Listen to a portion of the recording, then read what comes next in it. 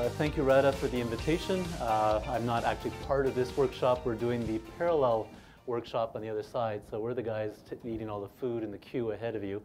Um, apologies for that. Um, we also had a longer lunch break, so we've treated our attendees much better than you.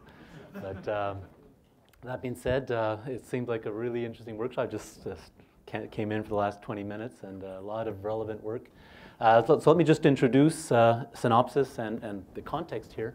Um, so Synopsys uh, has been uh, working the, for the last two, three years on an embedded vision processor for low cost, low power, low area applications. And by that, I'm looking at you know, two, three millimeters square, 100 milliwatts uh, in 28 nanometer HPM. So a very different category from a GP GPU that you know, some of the presentations we've just heard are in a different space. Um, so we're looking at uh, video surveillance, uh, ADAS, uh, and, and, a range of applications. Um, some of you may have come by our booth, so you have some idea. And, and I won't be doing a, a spiel today about our, our product. Uh, we'll talk about the experience of using OpenVX. So we've been um, uh, looking at, at OpenVX for uh, about a year and a half now. We had one of the first uh, certified uh, implementations on, of OpenVX on our EV5 processor family. Um, so I'll be talking today really about the Graph Manager and the features of Graph Manager, um, and mostly, you know, lessons learned through a real example. And I, as I said, I promise I won't try to sell you anything. On the contrary, just tell you about what works in OpenVX and what are the things that need to be improved for the future. So really constructive look of, uh, at OpenVX. Now, clearly, we're a proponent of OpenVX, and, and we support it, but of course, it's not perfect. Try to highlight some of the directions we think that would be useful. So just, uh, I think everyone in this room knows about the concept of graphs and OpenVX graphs. So underneath here is a very simple view of uh, our first generation embedded vision processor, which has a quad-core uh, RISC processor combined with a vision accelerator. In this case, it's a specific CNN, uh, optimized convolution neural network accelerator uh, that is very low power, very low area. Um, the two communicate through shared memory with DMA explicit memory management for data movement on and off chip. So of course, the, the graph mapping problem is, is taking these different nodes, uh, and the runtime will be optimally assigning different nodes to parallel resources on an underlying heterogeneous platform. So it's homogeneous on this side with you know, quad-core RISC, and heterogeneous in terms of the two different processing subsystems. So challenge number one, in this space of a couple of millimeters square and 100 milliwatts, you often don't have the power budget or area budget for a host processor. So it's really important to have a solution uh, where the system is self-contained and self-hosting. So we have the option to work with a host, but we also have the option that the full OpenVX API runs on the vision processor, and that's a nice quality and characteristic of OpenVX that it can be self-hosting, and we definitely do that. So that avoids the cost of a host processor running Linux.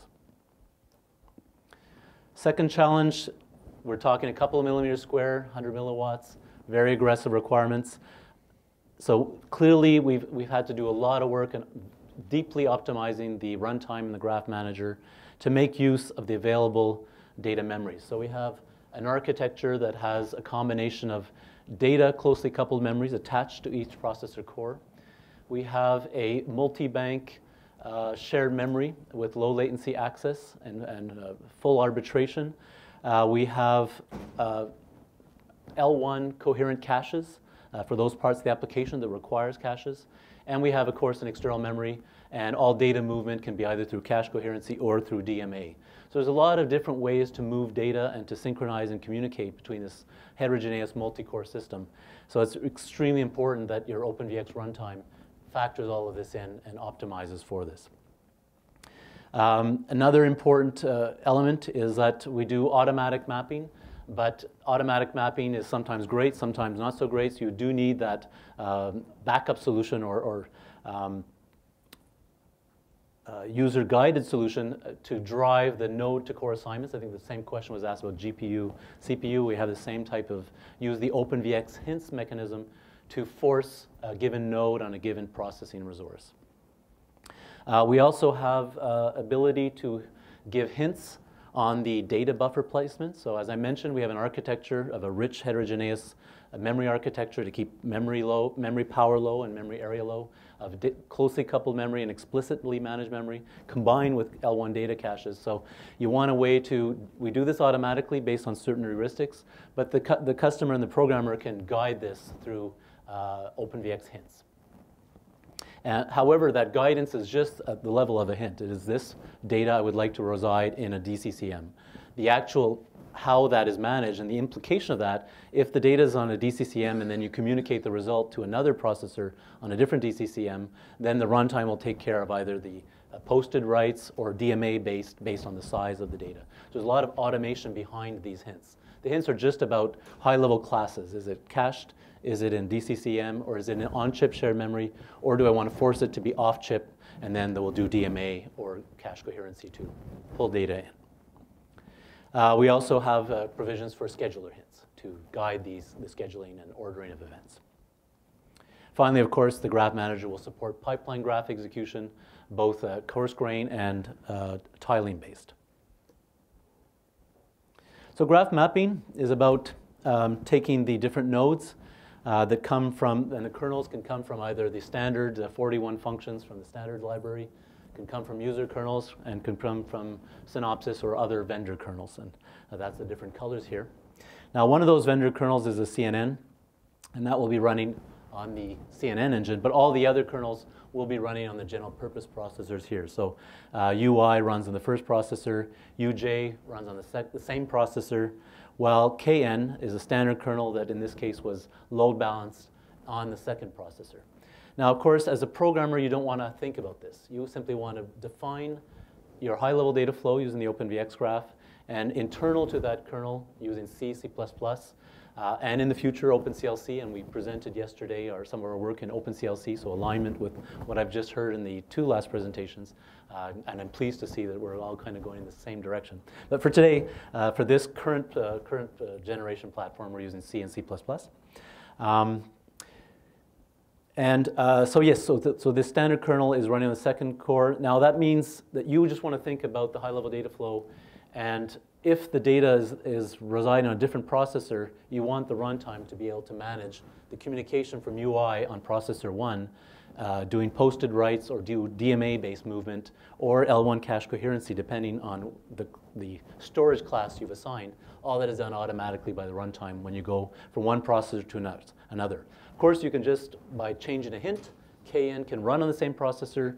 The runtime takes care of reassigning, reallocating, taking away the DMAs, everything's local in the same L1 data cache or L1 uh, DCCM. So that is managed by the runtime. So those, that's kind of the, the first level. And the second level is you might have UK that talks to VM. Logically, it's all homogeneous, it's all OpenVX, it's all data flow. But of course, on this architecture, there's a sudden big jump there because then you're going from a uh, homogeneous multi-core, standard cores, to very dedicated CNN engine. And so our CNN engine is, as OpenVX is designed, is uh, to be wrapped homogeneously in OpenVX, and underneath the blankets, we implement all the drivers to get data between the two subsystems, from the general purpose cores to the CNN specialized core.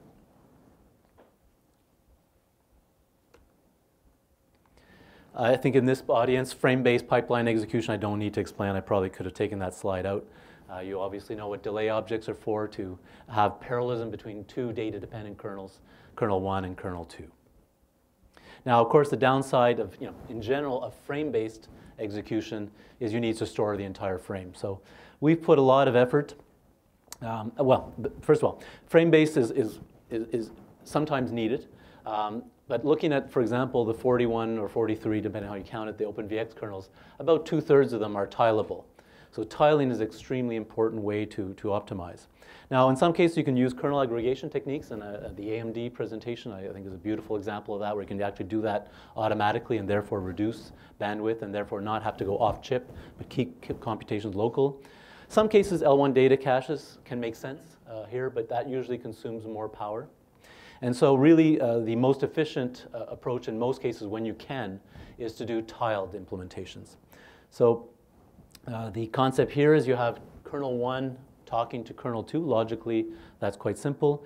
A classical approach was that you would read the full frame, process a full result, store that in frame two. That frame two is a potentially 1080p or 4K image. It will not fit on this kind of one millimeter square budget you have for memory for these deeply embedded systems. So you'll have to store it off chip. You typically have, you know, 100 kilobytes or 500 kilobytes, but that'll rapidly be filled. Um, so that has both expense in uh, data movement, which uh, slows things down, uh, but mostly has expense in power, that you're going off chip and consuming a lot of power to write to the DRAM. So tiling is, is really an enhancement of the OpenVX runtime we worked on, uh, a special implementation. So basically you're taking a frame and you're taking a, a, couple of lines of that frame, two, four, eight lines typically in, in most applications where you can tile. Um, and so you're doing a DMA, explicit man memory management, so you're not using caches here, you're keeping power low. And, and these are well-defined accesses, so you would not use cache for this type of regular uh, homogeneous access. So you use a DMA, and that's automatically managed by the OpenVX runtime. You then compute uh, the results for that tile, generate the result in the second tile, and when that second that result is available, the kernel 2 can start immediately on those, let's say, first four lines. And in parallel, you are then preloading the next four lines for the next tile, and then K1 can start computing the next four lines in parallel while K2 is computing the previous four lines. So you have a functional pipeline, but not a frame-based pipeline with delay elements. Here you have a functional pipeline based on a pipeline of the pixels and of these tiles. So this still produces parallelism, and the big advantage, as you've seen in comparing this implementation to this one, is you've saved this entire frame. So the entire frame two is streamed as two pixels or four, four lines, eight lines typically, uh, that are commuting through a very small memory and then passing that result to the next processor and this is streamed through. This is a very trivial example here of two kernels. If you had 10 kernels, you would save nine frames. All the intermediate frames could be saved if those, those nine kernels can be, can be tiled, of course. And as I mentioned, OpenVX as an, as an example, you know, two-thirds of the kernels can be tiled. So this is a very, very useful uh, functionality.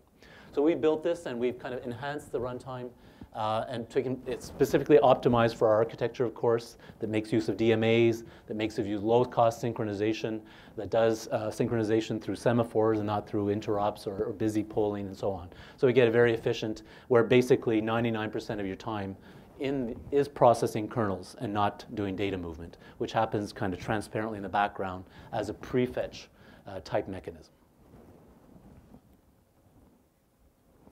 So the obvious challenge number four, you all know, is that there's 41 functions. That's growing every year, of course, and, and we've, you've announced, um, OpenVX has announced, you know, a new set this year, and that will continue to grow.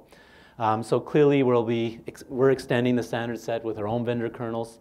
Um, luckily, Khronos is uh, upfront uh, defined. Uh, OpenVX is extensible, so that's that's great.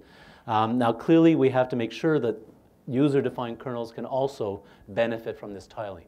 And that's something that still is not really standardized inside OpenVX. There's certain elements, and some of my former colleagues have, have worked on this in the past. I see Thierry in the, the back line there. And so this is an area we've been, we continue to work on, uh, and is a really important one that user kernels can also benefit from this, this uh, kernel tiling.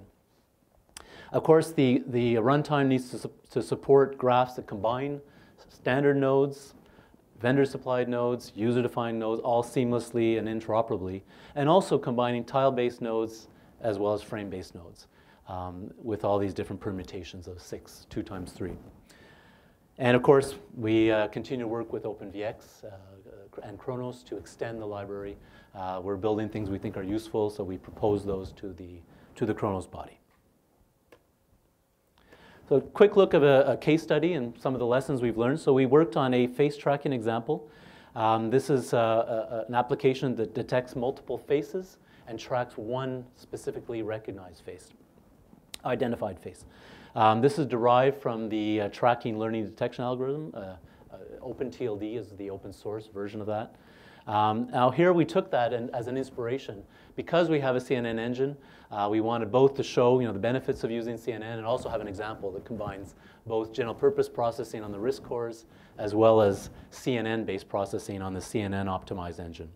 So this example replaces the PKLT uh, tracker with a CNN with a much simpler context tracker that is much more lightweight and low, lower computation requirement uh, than the PKLT optical flow.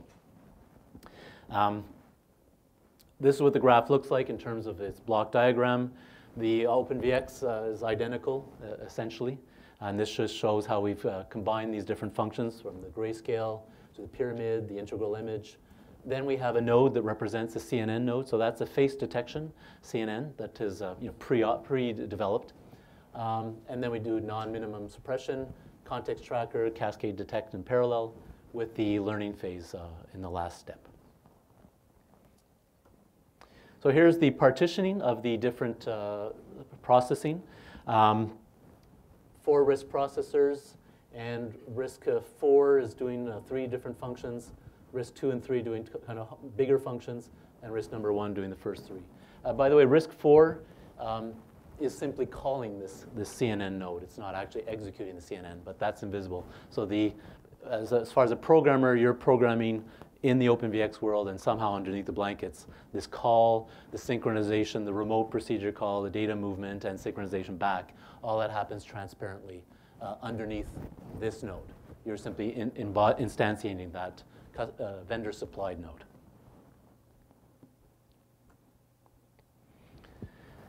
So we've, we've made a few improvements uh, along the way. Um, initially, we could have used the color convert and channel extract, so we kind of did a graph fusion and called a new RGB to Y uh, color conversion. That's just a, a basic optimization.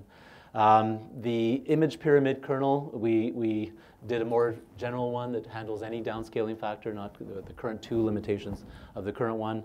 Uh, we also did a, a, variant of the integral image that does sum of squares rather than just uh, sum. Um, so minor stuff, but still, you know, we, we, had to extend it a little bit.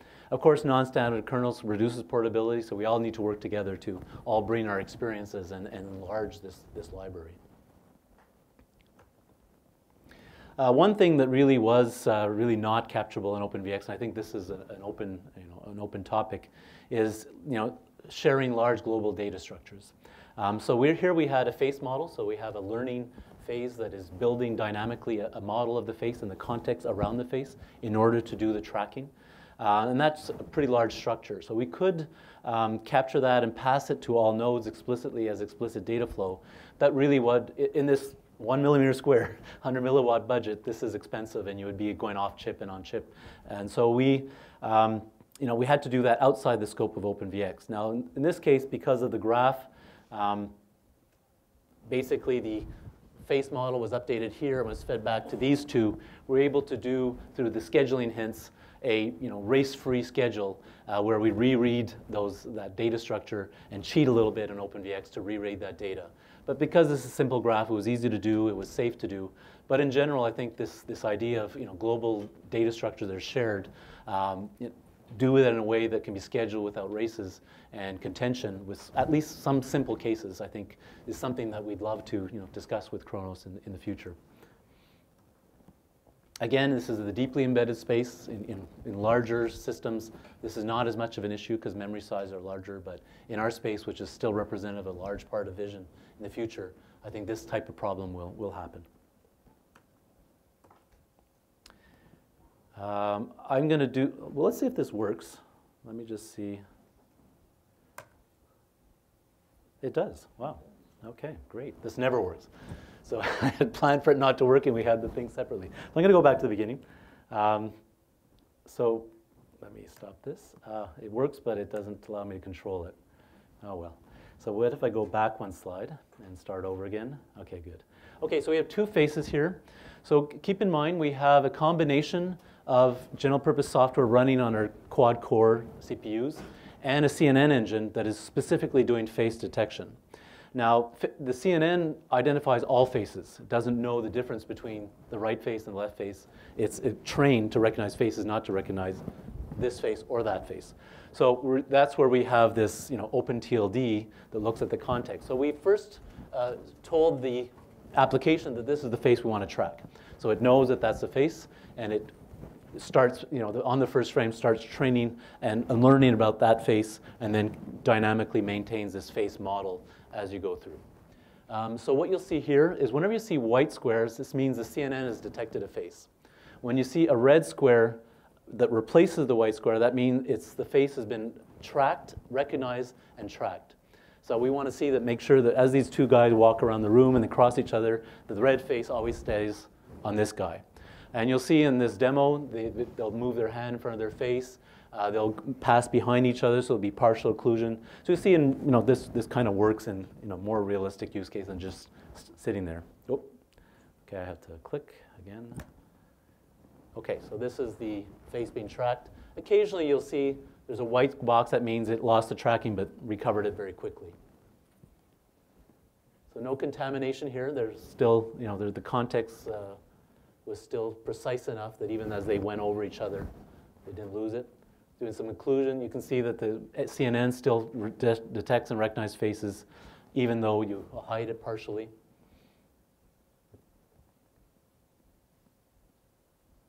They will not win an Oscar award for acting here. So you saw that it became white for a minute there, for seconds, that you know the, the context lost it and then found it back from the face model and recovered. Okay, so just to show this is real, this is actually running uh, on a HAPS board. This is not a simulation. This is based on the actual IP mapped onto an FPGA, uh, running at one-tenth of real time, of course, on FPGA. So we run at 50 megahertz on the board, and we just played it back 10 times faster just uh, to make it more natural. Of course, on an SoC, this would run at uh, 30 frames per second. Okay, so lessons learned, very simply, and I'll, I'll stop there. Um, lots of optimization was needed to do this, even this relatively simple example. Uh, it's all about data, data movement and data placement. Um, Tile-based flow data execution was, is, important. Um, these hints are really useful. Uh, the, the runtime sometimes find me optimal, but usually uh, you, you can't predict everything, especially data movement and latencies of the data movement, even though you can do profiling statically of all of these kernels of each of these nodes, and OpenVX gives you that information.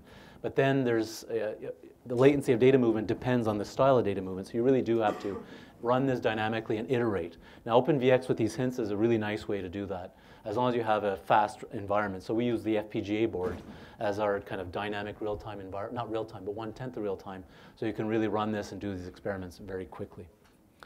Um, we've uh, built this runtime to support any mix of these three types of kernels, both tile and frame-based.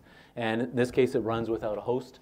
Uh, so it's self-hostable, and the full OpenVX stack runs on the, the RISC processors without an OS. Um, clearly, we need to extend the standard vision kernels. We'll have to go beyond. Uh, I think there's work still in improving and generalizing the tiled approach. Uh, that's clear, one clear differentiation of OpenVX in relation to OpenCV. You know, OpenCV is based on frames. I think OpenVX, because it uh, targets low power and high uh, efficiency, tiling is really important. Um, not all applications fit nicely in this data flow representation. We could have, you know, uh, passed the face model, but it would have been expensive and unrealistic for the targets we have. So we were not able to do that. We had to cheat a little bit. In this case, it was easy to do, but in general, I think this is something that needs more study. Um, clearly, you know, you're trading off standards against performance, um, and there's a productivity, portability, performance trade-off. Uh, we've done a lot of work on this optimized runtime, and we feel that you know this is giving us a good edge on terms of if you do this right, we are finding there's no downside to using OpenVX within the limits what we said that it doesn't have yet enough kernels, and there's some exceptions, but for what it's designed for, we've our conclusion is we get a very very low overhead uh, that's invisible in all the applications we've done. Um, of course, we've optimized the runtime to get that low that overhead really low. Um, and so we're, we're quite happy overall, and but we're still you know very engaged with the OpenVX community, and we'll continue to work with you guys uh, for many years to come, I hope. Uh, we had two presentations last year. There's more details of this actual application. If those are curious on the application side, there's a longer presentation. Uh, we also have a presentation on our CNN um, uh, on last year's presentation. Uh, yesterday, there was a presentation on our OpenCL C compiler work. So that's the direction we're clearly going into. And uh, underlying that, of course, uh, you know, we're uh, building architecture of the future that will be compatible with OpenCL C. Um, so that will be on the this year's uh, Embedded Vision Summit presentations. Um, that's about it. I'm Happy to take any questions. Yeah.